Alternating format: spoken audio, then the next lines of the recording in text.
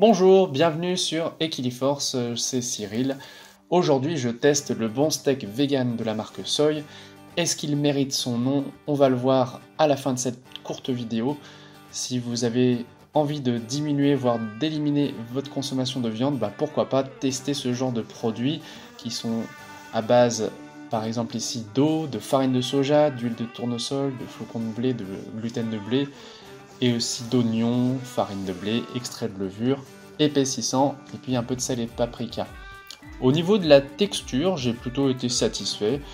Le goût, enfin la texture rappelle pas tout à fait celle d'un steak normal de viande, mais franchement c'est plutôt pas mal. Et ça se tient bien à la cuisson. Du côté nutritionnel, comme vous le voyez, c'est plutôt équilibré. 13 g de matière grasse, 11 g de glucides, 5 g de fibres et surtout 17 g de protéines. C'est satisfaisant. J'ai ajouté des pommes de terre persillées à cette recette, recette de famille avec un petit peu d'ail. Et ça nous a fait une assiette à 3,25€, 1,80€ de steak, 65 centimes de pain, et puis le reste c'est euh, pommes de terre et sauce tomate. Je mets une note de 15 sur 20 à ce bon steak vegan puisqu'il est d'origine France, bio, sans OGM et puis euh, riche en protéines. Dites-moi ce que vous en pensez. Moi, j'ai trouvé que c'était une bonne alternative à la viande. A bientôt sur Equiforce et portez-vous bien.